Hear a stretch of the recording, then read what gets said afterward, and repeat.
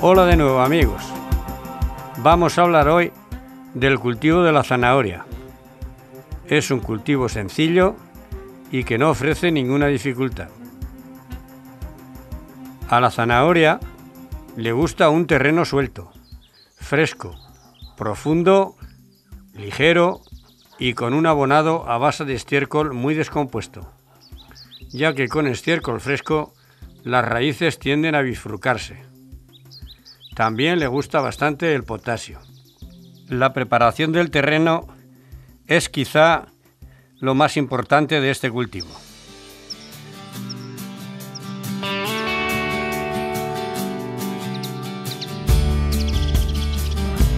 Comenzamos por pasar la tierra por un tamiz para quitar el torroquillo y las piedras.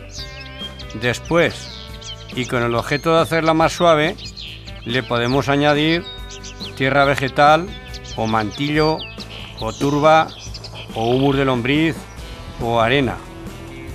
En fin, lo que tengamos a mano. Esta última si es de rambla mucho mejor. Vamos a hacer la siembra de primavera. Una vez todo bien mezclado, vamos a proceder a la siembra. Estamos a 20 de marzo. Esta siembra la podemos hacer de dos maneras, bien en hileras o a voleo. Explicaremos las dos. Como las semillas son muy diminutas, primero tamizamos un poco de arena fina y lo mezclamos todo bien.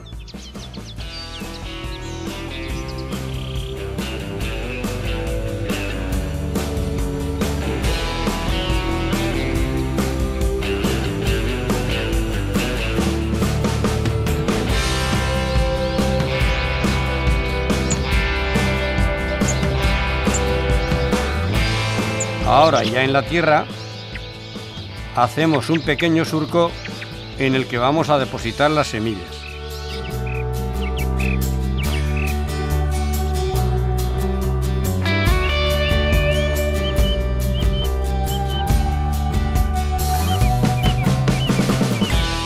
A continuación, las envolvemos ligeramente con un rastrillo. Con el mismo rastrillo compactamos para que queden bien adheridas a la tierra.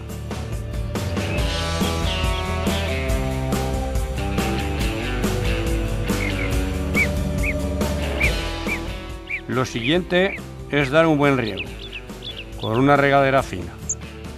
Después cubrimos con una fina capa de humus de lombriz, vermiculita, mantillo, turba o fibra de coco, lo que tengamos a mano. Este es el aspecto que queda después de terminar estas operaciones.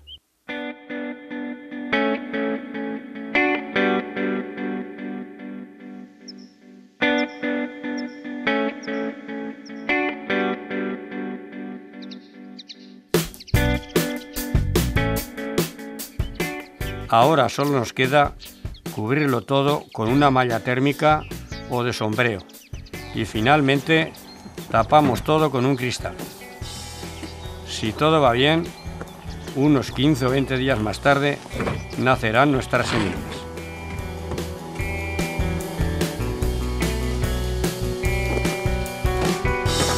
Siembra de verano. Sabemos que la zanahoria se puede sembrar prácticamente durante todo el año, pero haciendo tres siembras escalonadas es más que suficiente para disponer de este producto durante todo el año. Esta siembra nos permite tener zanahorias durante el invierno, pero necesitamos un habitáculo como este en el cual podamos cubrirlo durante el invierno.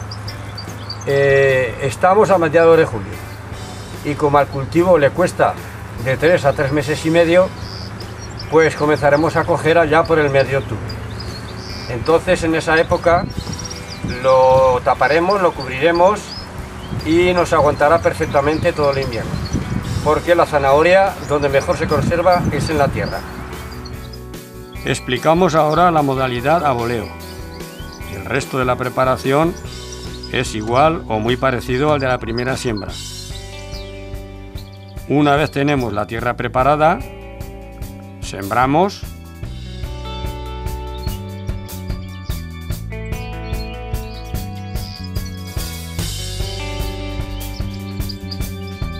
Envolvemos con el rastrillo.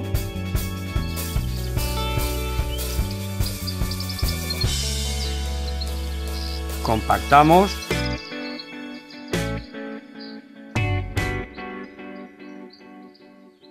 y colocamos una malla de sombra para que al regar no se esparzan las semillas. A continuación, damos un buen riego, a ser posible con una regadera fina.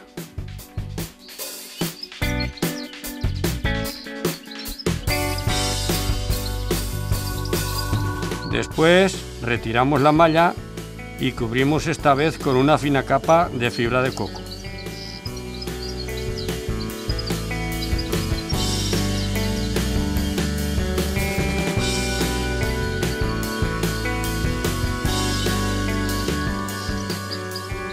Colocamos de nuevo la malla y volvemos a regar.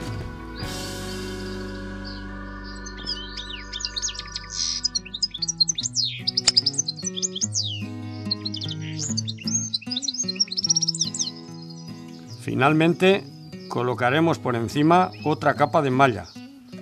No olvidemos que estamos casi a finales de julio y hace bastante calor. Y lo que interesa es mantener la humedad. En 10 días más o menos tendremos las semillas nacidas y ya podremos retirar la malla que teníamos encima de la tierra, dejando solamente las del bastidor, hasta que las semillas hayan crecido bastante.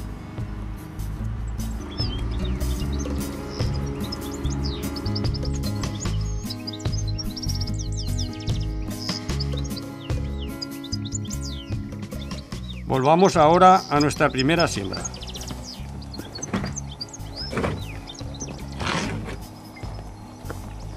Como vemos, nuestras semillas han nacido bastante uniformes. Ahora iremos regando a menudo, ya que la zanahoria es bastante exigente en riego. Y al mismo tiempo esclareciendo las plantas si están muy espesas. Si hace calor, no va mal sombrear, por lo menos hasta que las plantas cojan fuerza. Y por fin cosechamos nuestras primeras zanahorias. El cultivo ha ido bien y como vemos están sanas y hermosas.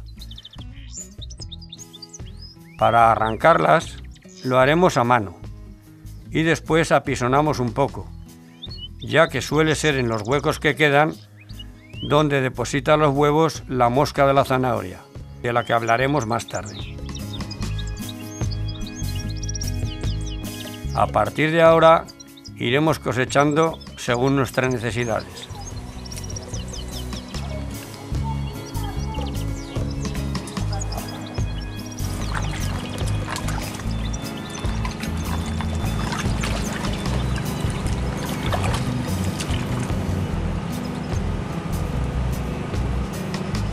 Aunque la zanahoria aguanta bastante el frío, a mediados de noviembre cerraremos el invernadero y solo nos quedará ir regando la tierra e ir extrayendo el fruto según nuestras necesidades.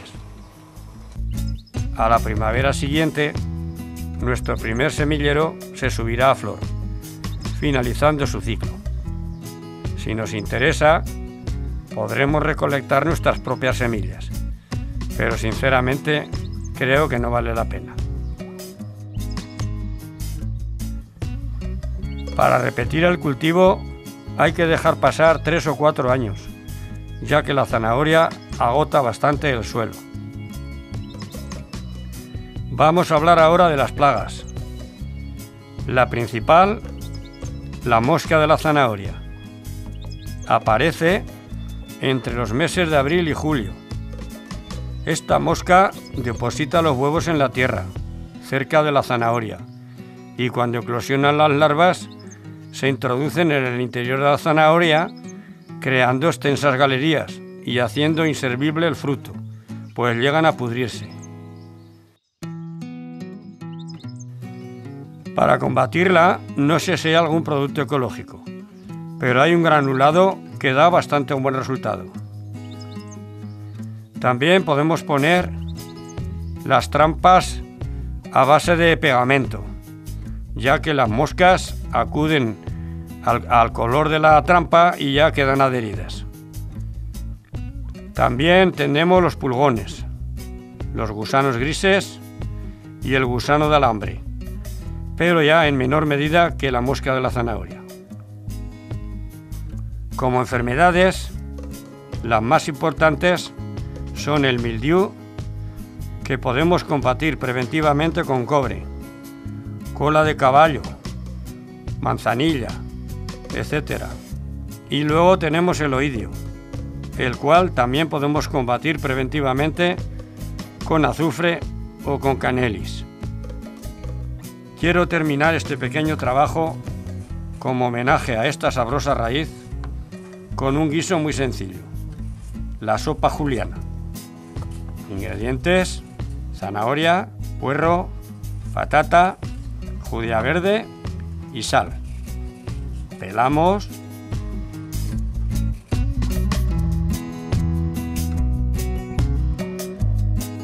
Cortamos a trozos.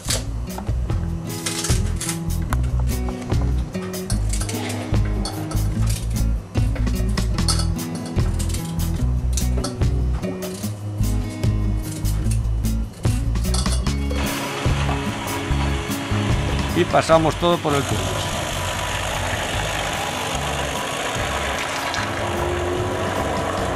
Y a la mesa. Bueno, pues hasta la próxima.